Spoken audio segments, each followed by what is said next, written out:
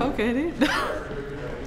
okay, so we played two officers, and our role was to assess the situation and see what we could do, and we were to had to make sure that the paramedics got attention that they needed.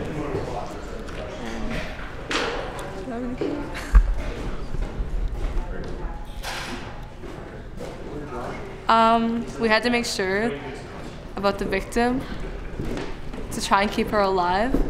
Unfortunately, didn't happen, but you know, that's about it.